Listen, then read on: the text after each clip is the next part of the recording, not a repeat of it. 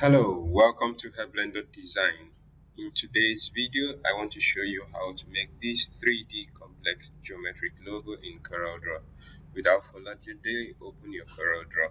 So here in CorelDRAW, I'll pick my ellipse tool, hold down the control key and just make a perfect circle. And I'll try to distort this circle from this quadrant here. Just click and drag up here so when you get here just hold down the control key or you right click to make a duplicate. Now you can select this quadrant and select the circle press the letter E to align it to the center. Okay the next tool we are going to make use of is called the virtual segment delete. Okay so I don't need this part of this circle anymore. So this is what we have.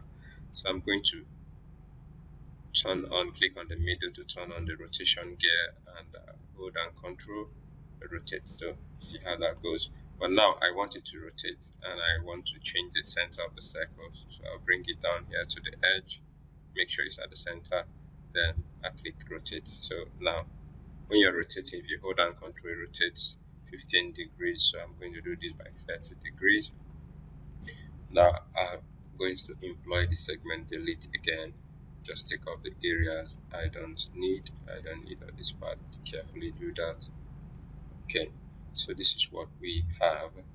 And uh, we're going to use the smart fill tool to make a fill here. After we have done this I need to apply a gradient on it. So from here see the interactive fill tool. Click and drag. And you can select another shade of color of your choice. So I love green and lemon so I, this is fine by me. Do the same thing for this upper part.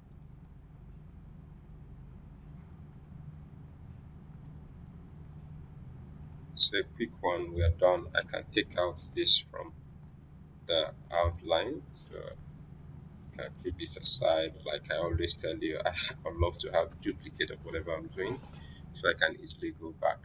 Now I can group this. I want to make a highlight. Uh, just create a simple with the ellipse to create remove the outline with the transparency tool and apply this. Okay this is cool. So just going to rotate it to fit the angle where it is. So this is what we have. So we are going to quickly make this get into the finish. This uh, highlight group of control G and I'll click to change the center. This time I want it here and I'll hold down the control key. Okay? Either control D or control R can get you to repeat this. Isn't that nice? So just click out, select and group, take out the outline. So we have our complex 3D geometry. This looks like a flower or a rose. So if you find this tutorial helpful, have any question, drop it in the comment section below, give it a thumbs up, share this so that others can benefit from it see you in my next video. So for more tutorials check that video in the channel. Check all the other playlists you find helpful tutorials. Thank you very much for watching